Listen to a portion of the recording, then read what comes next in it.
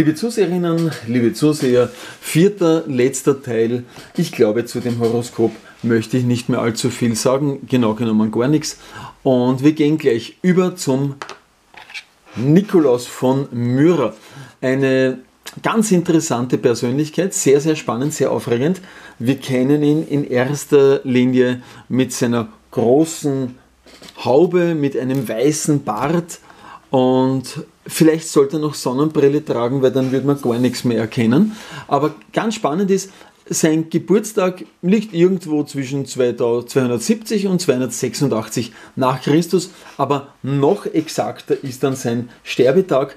Den weiß man genau, das ist der 6. Dezember, aber ob das jetzt 326, 345, 351 oder 365 gewesen ist, schmeckt's. Also ganz interessant.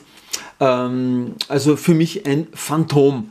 Und schauen wir mal, dieses Phantom soll sagen wir 326 nach Christus, äh, uns wieder verlassen haben. Und schauen wir gleich einmal zum Konzil von Nicea rüber, weil Nikea, Nike, Nike, schon mal sehr spannend, oder? Dass der, der Nike doppelt vorkommt. Und hier Konstantin der Erste im Jahr 325 nach Christus. Bingo. Also hier haben wir schon eine kleine Spur. Schauen wir uns einmal diese Spur näher an.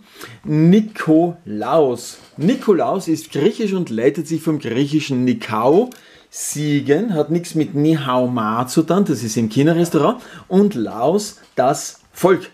Die Bedeutung kann Sieger des Volkes sein, aber das glauben wir nicht, ähm, denn die Bedeutung bedeutet Sieger über das Volk. Aha, Sieger über das Volk ist der Nikolaus. Na, da wird schon einmal spannend. Äh, Nike, Nike, äh, kennen wir ja. Nike ist die Siegesgöttin. Ganz interessant, sehr, sehr spannende Persönlichkeit. Ähm, es gibt keine Geschichten. Also Nike ist einfach, die ist da, brack, so aus dem Himmel herausgefurzt und brack. Jetzt ist sie da, unsere Nike. Oh, Volksgenossen, oh, wir wissen auch nichts Genaues. Über alle griechischen Götter gibt es Sagen, Legenden, kleine Geschichten, Begebenheiten, irgendwas. Nur von der Nike gibt es gar nichts. Na, das ist zumindest spannend. Aber schauen wir mal, was hinter der Nike denn stehen könnten. Denn wir wissen ja, dass die Nike das Sieg ist. Aha, bei der Nike haben wir ja schon eine ganz interessante Fährte. Die Nixe ja, ich weiß, auf Lateinisch nix nevis ist der Schnee, schon klar, aber nix ist nix und die Nixe. Ah, die Nixe ist ein Wassergeist. Ah, jetzt wird spannend. Jetzt wird es sehr interessant. Ein Wassergeist. Aha, der Geist in der Flasche, na, das ist eher der Weingeist. Aber schauen wir mal, weil die Nixe hat ja einen Mann, einen Partner, das ist der Nöck. Der Nöck, ja, den haben wir das Genöck, das Genick zu verdanken. Das wusste schon der heilige Florian, der erste Christ in Österreich zu spüren. Der Nöck ist eine Sagengestalt, ein Fabelwesen, insbesondere, na da haben wir es schon wieder, da haben wir es schon wieder, ein Wassergeist oder ein Wasserwesen. Der Nöck gehört zur Gruppe der Wassermänner. Aha, der Wassermann ist ein Oberbegriff für männliche Wassergeister. Eben das Gegenstück zu, Gegenstück zu den Undinen. So gibt es die Nixe. Na, das ist ja mal spannend. Also hier haben wir ja schon mal einen eleganten Hinweis. Also Nixe und Nöck sind Wassergeister. Und hier haben wir ein ganz interessantes Video. Übrigens gibt es hier sehr, sehr gute, halbwissenschaftlich, aber doch sehr, ähm, würde ich sagen, brauchbare Videos zu dem Thema Are Mermaids Real? Also sind Meerjungfrauen real? Und hier wird verwiesen auf 7000 Jahre alte Höhlenmalereien, wo wir dann auch sozusagen kriegerische Auseinandersetzungen sehen, wo die vom Land mit Pfeil und Bogen auf die im Wasser schießen. Sehr spannend, sehr, sehr interessant, sehr, sehr gemieden dieses Thema. Man soll es nicht wissen. Also es gibt hier zahlreiche merkwürdige Videos, natürlich sind die meisten sehr, sehr unseriös, aber ihr wisst ja, unseriös wie die, was auch immer. Ja? Und wer ist der gute Nöck? Der gute Nöck ist ja nicht nur bei uns bekannt, sondern er ist ja auch an der Rhone in Frankreich bekannt. Und zwar wurde er hier, ich weiß nicht, ob man das sehen kann, kann man das lesen, ich halte das irgendwie blöd wahrscheinlich, oder? Hier besteht der Lindwurm an der, hier, so leben in der Rhone, also in Frankreich, böse Draki. Hier haben wir schon wieder Wassergeister, schaut mal, Wassergeister, die menschliche Gestalt annehmen können, Frauen und Männer rauben, uns ins Wasser ziehen. Die Drak, daher Drache. Drachen, sie fordern ständig ihre Opfer. Wir wissen ja, der Lindwurm in Kärnten, Lindon ist ja der See auf Keltisch, sehr spannende Zusammenhänge, die wir hier finden. Und wir wissen, dass man sozusagen den Wassergeistern Tribut zahlen musste, indem man eine Münze ins Wasser geworfen hat. Auch an der Donau war es der bekannte Spruch, wenn ein Donauflößer ins Wasser gefallen ist, hat man gesagt, gib dich dem Nöck hin, also dass die Wassergeister auch etwas zu essen haben. Sehr interessante Einstellung, also ganz interessant. Also wir erfahren hier, dass die Wassergeister Gestalt annehmen können. Und das kennen wir ja. Wir kennen ja überall diese Legenden von der weißen Frau, der verlockenden Frau. Und in den Bergen haben wir eine andere Legende. Da ist der Krampus, der ist aber am 5. 5. Dezember. Am 6. Dezember ist der Nikolaus, von dem nur sein Todestag bekannt ist. Wann er geboren ist, was war, da weiß man eigentlich gar nichts, aber wann er gestorben ist, das weiß man schon. Und ich würde sagen, wir nehmen einmal astrologisch betrachtet die gerade 13 und 14 einmal näher unter die Lupe und rechnen so, naja, ein Zeitalter zurück, also so über 2000 Jahre zurück. Und da kommen wir auf 13 Grad Schütze ungefähr auf, das jetzt auf 13 Grad Steinbock. Manubrium, aha, und hier steht Omega Sagittarii. Sagittarius ist ja der Schütze. Und nach Manubrium kommt Vega. Okay, also das könnte sich hier 5. 6. Dezember vor über 2000 Jahren um Manubrium und Vega hier derzeit 15 Grad 19 Capricorn, das ist schon ältere Ausgabe, ja. Also hier haben wir einen Abstand von einem Grad, Manubrium 1 Grad vor Vega. Und hier steht es Fortunate. Also das heißt, ich schaue immer im Zweifelsfall ein bisschen am Himmel, da können wir die Erklärungen finden.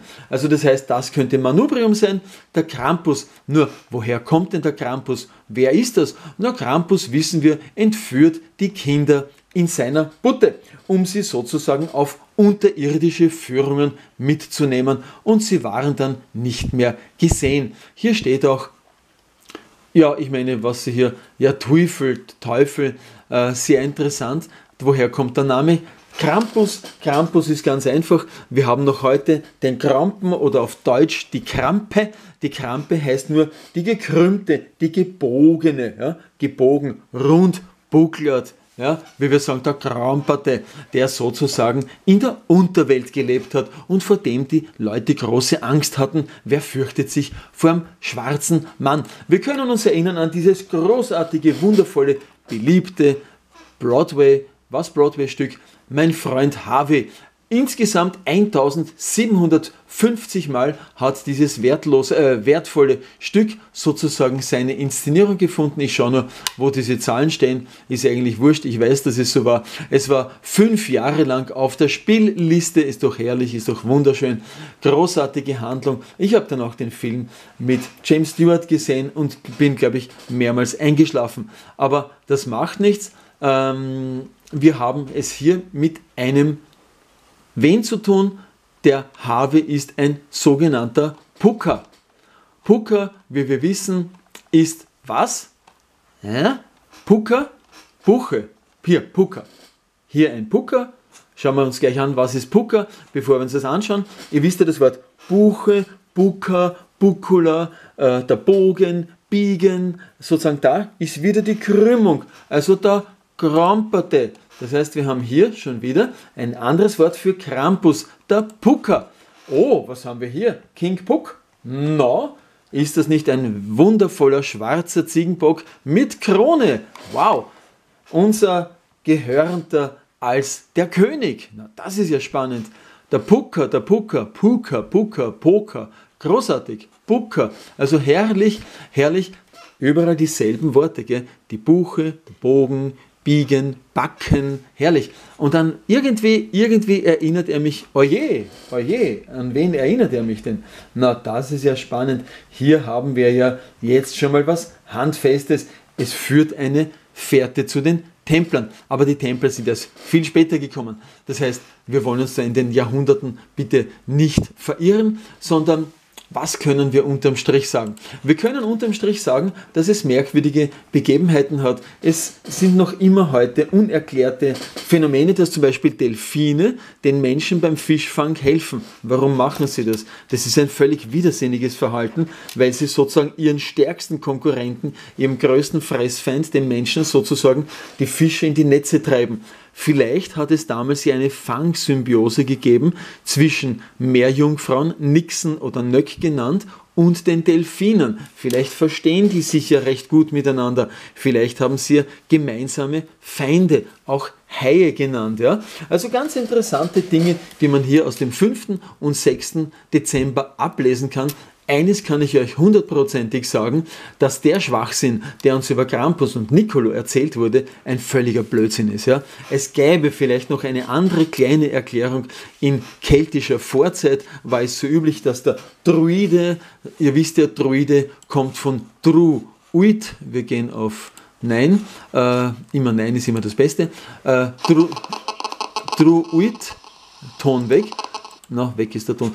Druid heißt ja nur großes Wissen.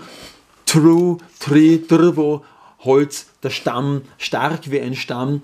Und hier haben wir es mit ähm, großem Wissen zu tun. Uit, der Witz, Wit, Vitu, äh, die Veden, Draviden und so weiter. Unser Druide ist sozusagen von Hof zu Hof marschiert und hat den Menschen dort gewisse Dinge gesagt. Und zwar hat er ihnen gesagt, dass zum Beispiel äh, in der schlechten Zeit die Hexen vom Himmel fliegen. Ja? Die Hexen am Himmel ist die stärker werdende kosmische Strahlung, weil die Sonne, die nachlassende Sonne, äh, 23 Grad Ekliptik, äh, Bahnneigung, dass die schwächer werdende Sonne sozusagen dieses Energiefeld nicht mehr aufbauen kann und die kosmische Strahlung nicht mehr abhalten kann. Das sind sozusagen die Hexen aus dem Himmel und gleichzeitig kommen dann auch die Geister aus der Erde heraus. Auch hier hat das nachlassende Sonnenfeld sozusagen die Möglichkeit offenbart, dass Radioaktivität, negative Strahlung von der Erde aufgestiegen ist. Und die Druiden haben damals die Leute davor gewarnt, Kinder zu zeugen, weil diese Kinder, also wie die Germanen sagen würden, Skrellinger wären, also Schwächlinge wären, also Menschen wie ich, weil es geht hier um das Sternzeichen Jungfrau, welches verhindert werden soll mit der Krampus- und Nikolaus-Geschichte sozusagen, passt auf, habt keinen Sex, damit sozusagen keine schwachen Kinder hervorgehen, denn die Zeugungszeiten waren damals klipp und klar festgelegt. Damals sollte man Kinder in der Erntedankzeit zeugen, also das heißt in der Waagezeit bzw. in der Stierzeit, um dann auch kräftige und starke Kinder hervorzubringen. Also das sind so äh, Mythen und wie sagt man Bräuche, die sich doch sehr, sehr stark überschneiden und hier kann man einfach sagen, dass den Menschen das Wissen zu 100% fehlt. Hier, werden, hier wurde einfach von einer Glaubensorganisation äh, wurde auf altem Wissen aufgepfropft ja, und aufgestoppelt und man hat sozusagen das alte Wissen einfach sukzessive verdrängt. Und wir wissen ja auf dem Scheiterhaufen gegen die äh, Verordnungen der Luftreinhaltemaßnahmen äh, wurden dann wissende Frauen, insbesondere das Kräuterwissen, aber auch magisches Wissen, wurden beseitigt, dass man dann über die Jahrhunderte ein Wissensmonopol erlangt hat und das gipfelt in der jetzigen Entwicklung, wo sozusagen viele ein Satansphone jetzt vor ihrem Gesicht halten und in Autos laufen, von der U-Bahn überfahren werden, wie es jetzt vor zwei Wochen in Wien der Fall war, oder in einen Bus laufen oder in eine Grube fallen, weil sie nicht mehr in dieser Realität leben. Aber egal, auch wir haben unsere eigene Realität und die ist mental und mit dieser mentalen Realität können wir um 19.50 Uhr unheimlich Gutes bewirken. Wir können bitte auch mit unserer Gurkenglasmethode ja, also ich möchte, ich möchte von solchen Dingen nichts wissen. Quell brauchst du nicht. Du weißt davon nichts. Wir machen einfach für dich. Wir stecken dich ins Gurkenglasel. Du bist glücklich, wir sind glücklich und wir haben Ruhe vor dir. Alles bestens. Bitte 1950, Liebe, Frieden, ganz wichtig, weil in der Ukraine wird mächtig gezündelt. Frieden, Frieden, Frieden. Ja. Wir können nur Frieden brauchen. Freude, ganz wichtig, Freude und Liebe. Ja. Und ansonsten Video endet, hier endet dieses Video auch, wünsche ich dir einen großartigen Wochenbeginn und ich würde sagen, lassen wir die einzelnen Streikwunder geschehen, weil immer mehr Leute sagen, uh -uh, uh weil sie wollen ja jetzt das Gesundheitspersonal äh, aus Indien beziehen. Und bevor das geschieht, würde ich sagen, sollten wir dann doch auch nicht nur auf der Straße, sondern auch betrieblich aktiv werden. In dem Sinne einen großartigen Montag und einen großartigen Wochenbeginn. Dein Astrowolf. Ende.